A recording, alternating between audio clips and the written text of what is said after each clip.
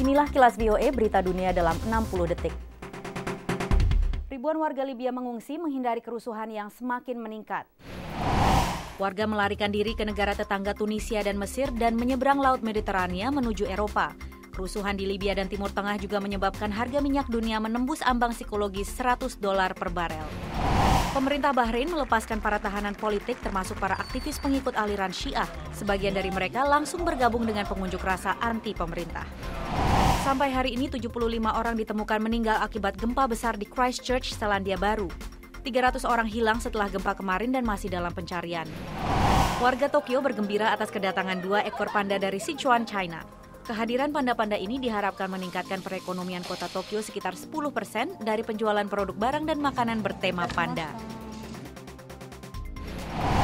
Saya Patsy Widakuswara untuk Kilas VOA.